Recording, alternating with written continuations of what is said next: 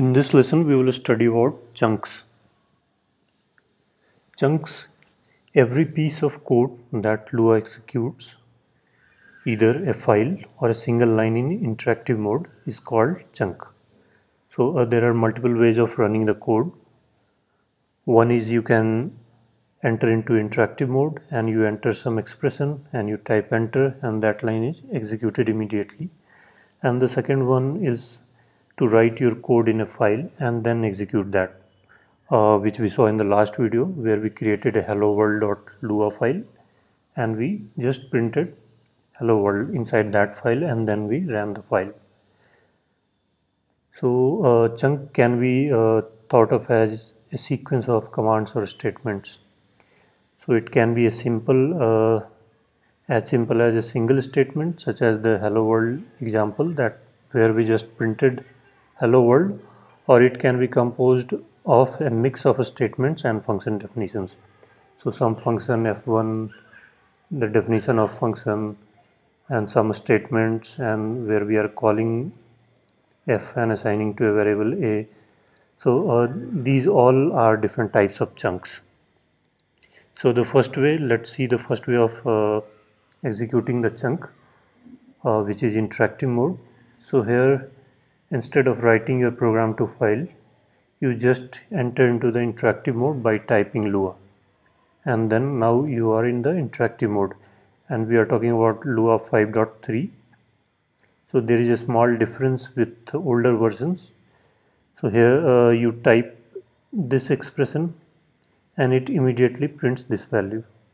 Then this is assignment so it will not print anything and here you are taking square of a and a was assigned 15 so it immediately prints. So same thing if you wanted to do in older version you could you would have to proceed it with a equal to symbol. So instead of a raised to the power of 2 you would have to write equal to this. And it would have printed the same thing 225 but starting 5.3 that equal to is not required but even in 5.3 to maintain the backward compatibility if you write equal to it's fine. It's not an error. So uh, Lua usually interprets each line that we type in interactive mode as a complex complete chunk and that's why it will execute that. But if the line is not complete it will wait for more input until it finds a complete chunk. And this way you can uh, define uh, multi-line function definitions in interactive mode also.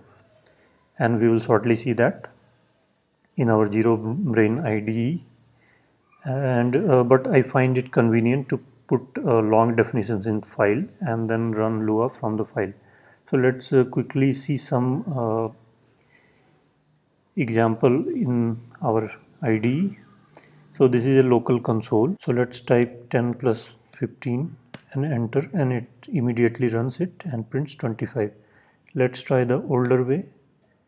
10 plus 15 so only difference is that we are adding equal to sign and still it runs.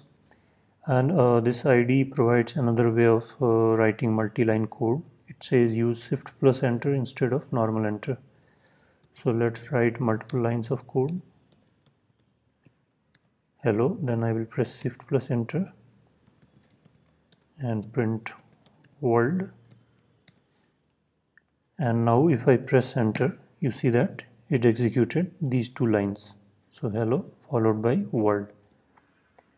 So uh, we can also define functions here. So we can write function foo and let's say this function prints just foo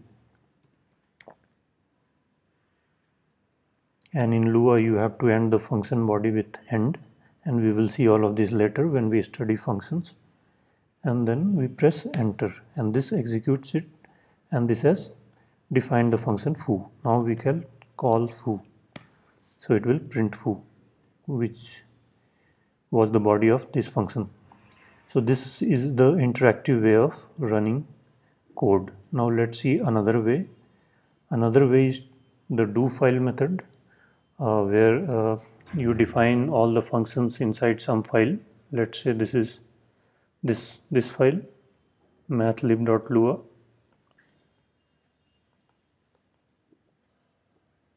so you define some function definitions inside one file and then in the interactive mode you run dofile followed by this file name. So it will load all of these functions into the interactive mode. It will be equivalent to uh, writing these multi-line function definitions in the uh, interactive mode itself which we just saw here. So here we defined a function here itself but it it's not it doesn't look so elegant way of uh, defining functions. So we define it all the function definitions inside one file and then we load it using dofile. So it will immediately execute the file. And now these norm and twice functions are present here and we are allowed to call these functions here. So let's try it in our uh, IDE so let's create a new file and let's save it as uh, mathlib.lua and here we will define the same two functions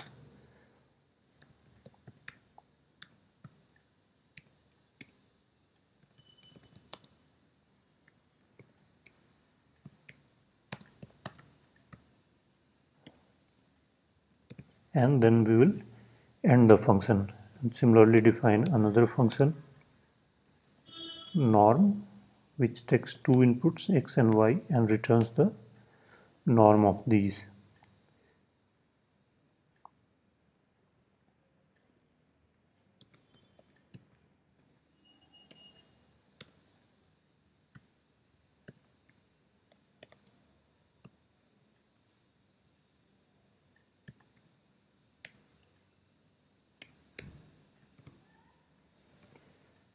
and now here we can call dofile. And the file name is mathlib.lua so it has loaded both these functions here. Now we can assign it to some variable like a equal to norm of 10 and 20 and if you print a it's it's nil it's not able to calculate the norm. Let's try the other function.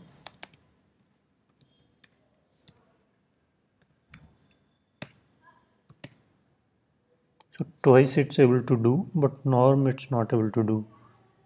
Uh, okay so we are not returning the value. This is the mistake. And now uh, let's load this again